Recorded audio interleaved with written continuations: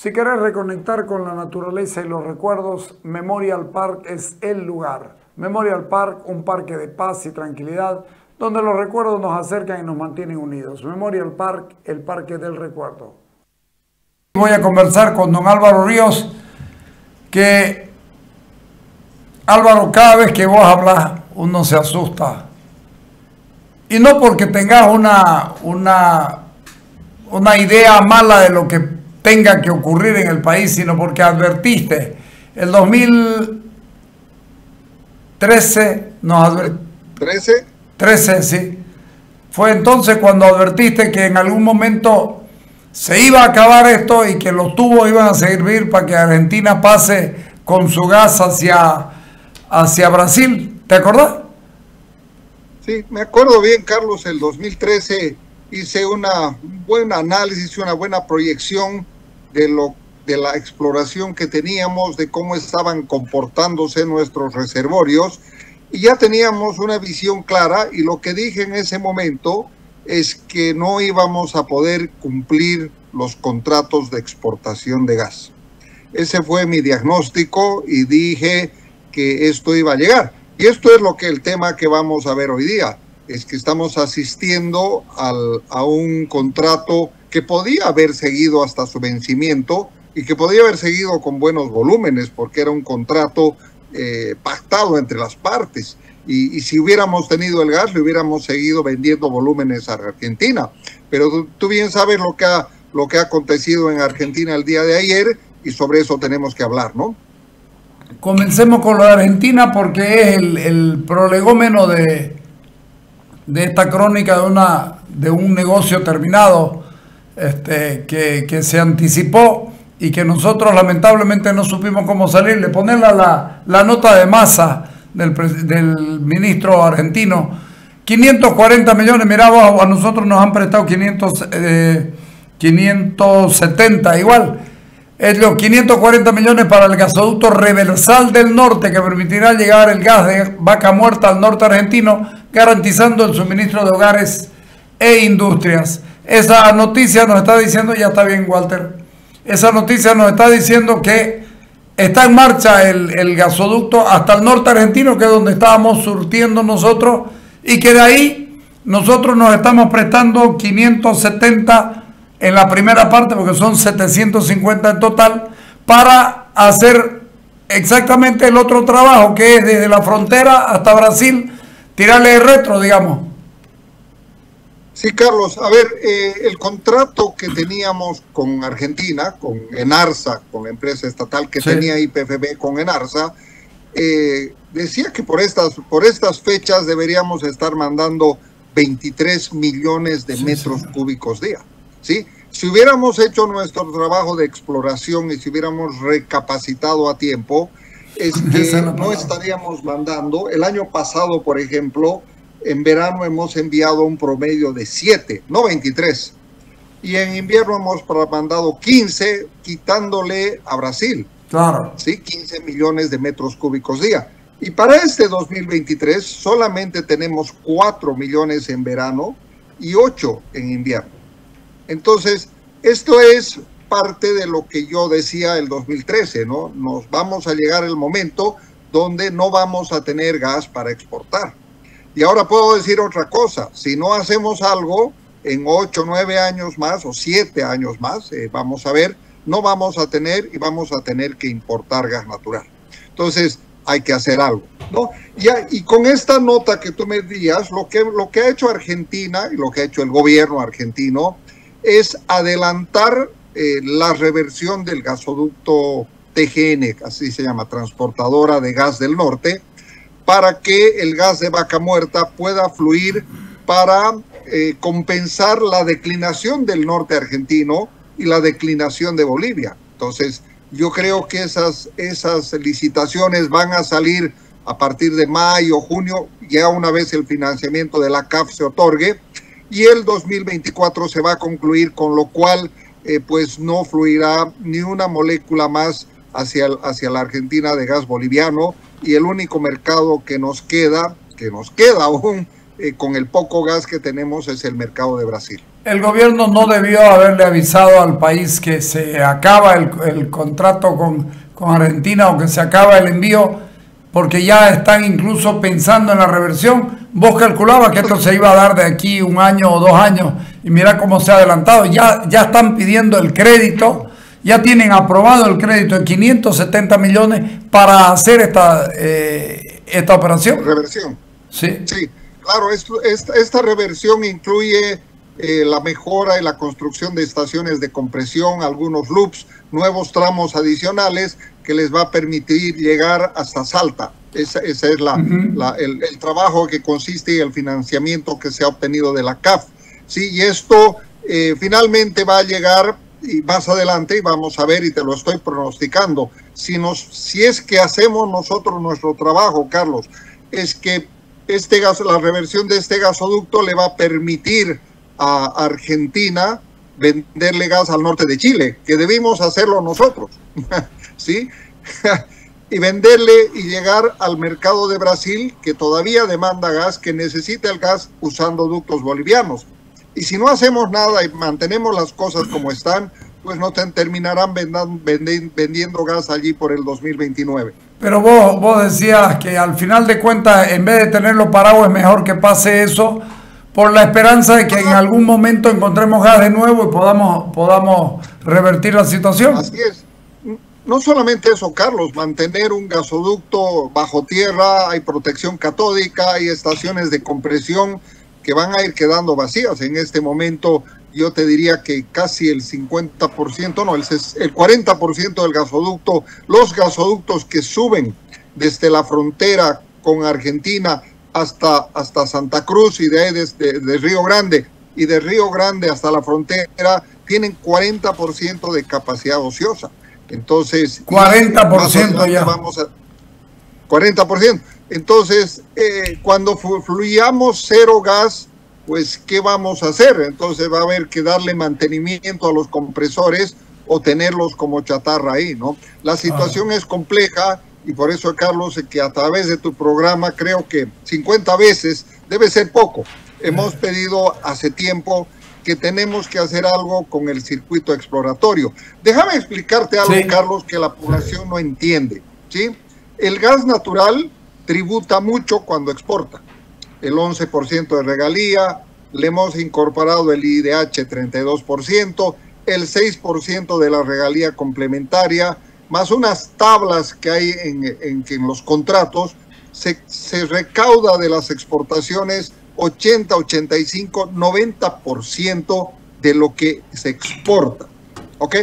Imagínate el sector minero que paga 3 o 4%. ¿Sí? Imagínate el agro que no paga impuestos de exportación.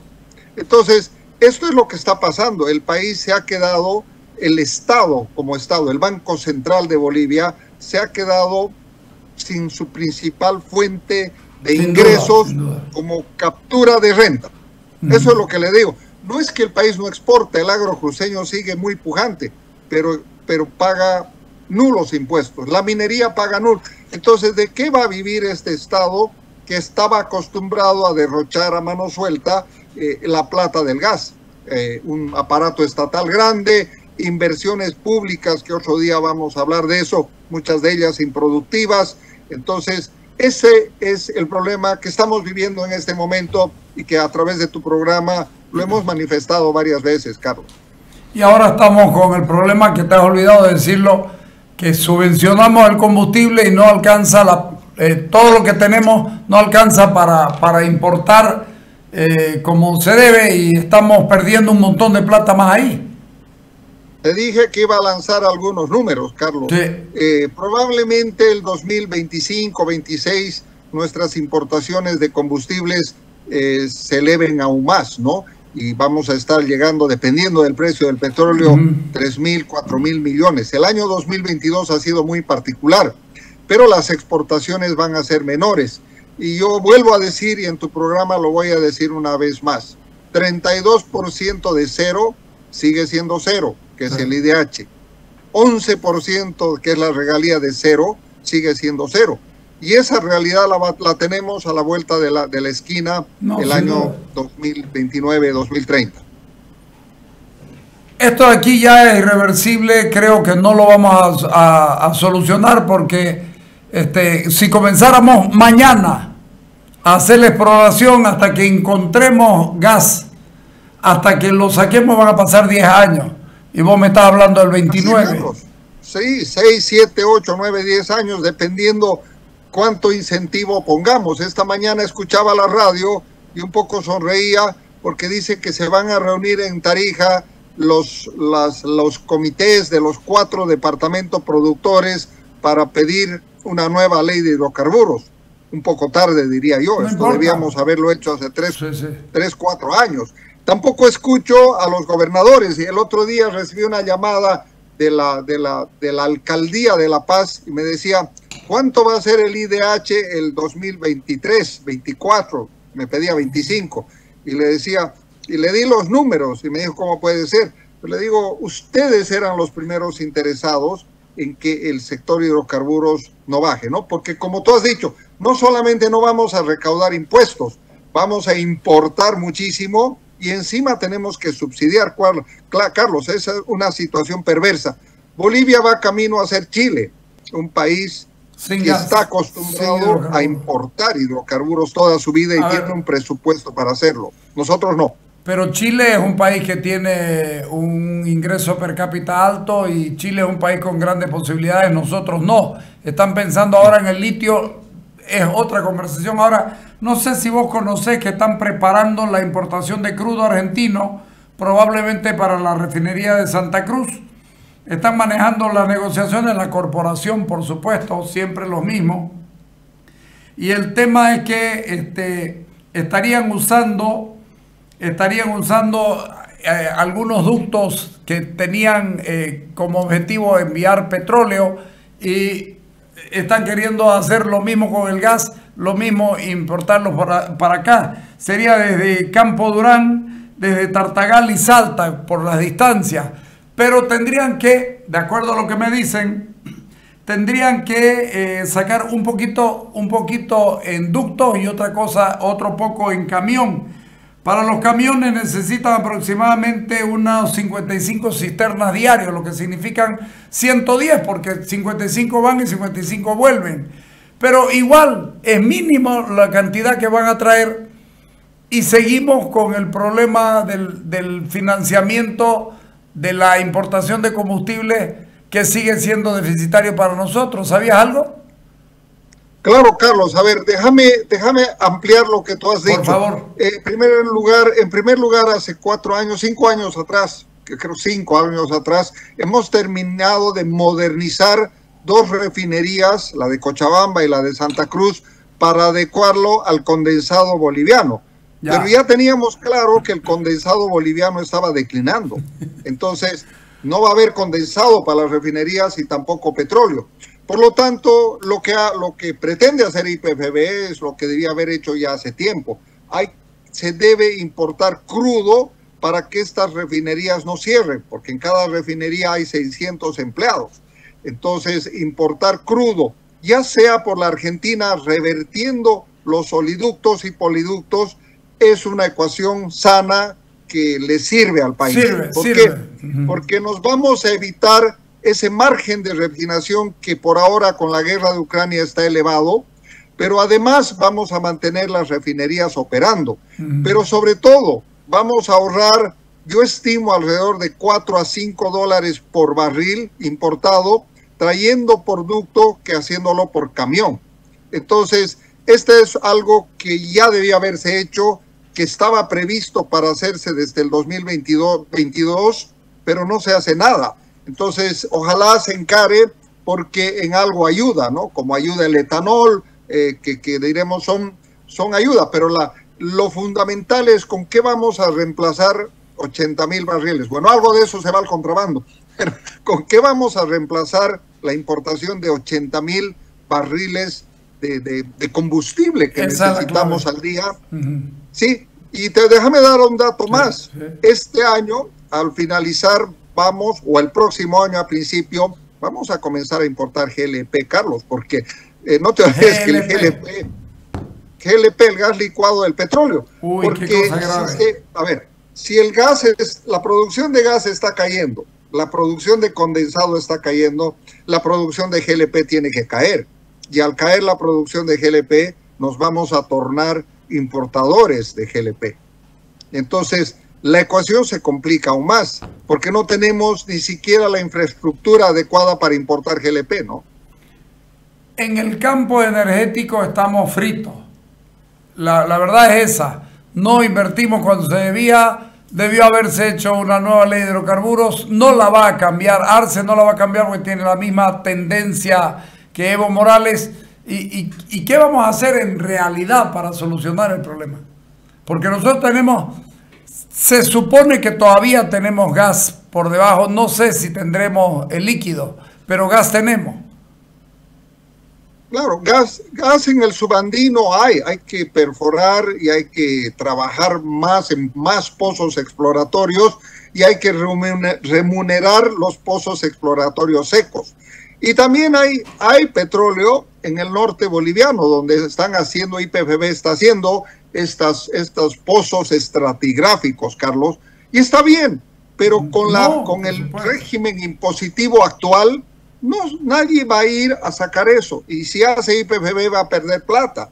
Entonces, la ecuación es clara. Necesitamos, tan urgente es una nueva, eh, nuevo sistema judicial como es una nueva ley de hidrocarburos porque vamos a seguir importando hidrocarburos por los 30 próximos años o una adenda a la ley de hidrocarburos para no complicarse una, adenda. Ley de upstream. no necesitamos hacer nada. Exactamente, que te permita ir a hacer nada en los ductos. Tenemos ductos vacíos, plantas vacías, refinerías con poca capacidad. Lo que nos falta es repotenciar el, el, upstream, la exploración, Carlos, y eso es una ley de incentivos bien hecha, diferir los impuestos, pero seguimos esperando y no hacemos nada. Pero, ¿sabes qué? Este, si la vas a hacer la nueva ley de hidrocarburos, hacerla completa, completa en la parte de upstream, es decir, el que venga e invierta, se le va a ganar tanto, listo, se acabó el asunto. Dejémonos de, de, de, que de aquí 10 años van a recuperar sus impuestos, no. Definitivamente lo que van a hacer es ganar tanto, ustedes ganan tanto, el país gana tanto y se acabó el asunto. Si te dicen, si te dicen, si, si, si el pozo no salió seco, mire, usted vino a probar Usted vino a probar. Si saca, recupera. Si no saca, pierde. Pero a partir de ahí, una vez saque, mire, vamos a ir tanto para usted, tanto para nosotros. ¿Es negocio o no es negocio? Puedes hacer incluso negociaciones particulares y privadas sin que tengan que enterarse los otros. la cosa es, que, salir de esto. La exploración es capital de riesgo, Carlos. Pues. Y yo no estoy de acuerdo en que IPFB haya asumido eh, la poca exploración que hemos hecho ha asumido todo eso. Entonces, la situación financiera de IPFB, todos saben ya, no es de las mejores. Entonces, necesitamos una nueva ley del upstream. La voy a seguir pidiendo hasta el último día que quede yo con, con las ganas de decirlo, porque va a haber en un momento que el mercado de Brasil no va a haber y entonces ahí sí no vamos a tener exploración nunca más. Está complicada la situación, pero este, a ver si da este asunto de, los ductos, de los eh, poliductos de, petróleo para que pueda entrar aquí algo, para que, ojo, solamente se puede traer de Campo Durán, de Tartagal y de Salta por las distancias, en primer lugar, y en segundo lugar porque dice que tienen parecidos y similitudes las calidades. Porque también eso... sí. Y también, Carlos, se puede traer también porque el gasoducto, el GAA, el, oleoducto que va hasta Arica, eh, se puede traer en camiones hasta ah. arriba, hasta, la, hasta el altiplano boliviano, y de ahí lo podemos bajar por ducto hasta la refinería en Cochabamba. Esas inversiones ya debían haberse hecho, ¿sí? Ahora, ¿sabes con qué te vas a encontrar? Te vas en este momento cruzan nuestra frontera 323 camiones promedio por día importando gasolina y diésel. Y entonces eso te debe dar unos, como tú has dicho, unos 800, 900 cisternas yendo y viniendo. ¿Sabes qué? Vamos a ver si les gusta que les quiten el negocio cuando comiences a importar producto. Ahí tienes otro lío que te lo has creado. Además es un, negocio eh, para muchos por debajo de la mesa eh, muy, muy complicado. El problema, es que, el problema es que no somos transparentes para hacer las cosas, pero es el país que tenemos. Yo te agradezco, pucha, nos dejas siempre preocupados, pero, pero seguir trabajando en eso que ya, ya te toco otros temas, por favor. Gracias, Carlos. Hasta la próxima. Un abrazo. Chao. Te agradezco mucho.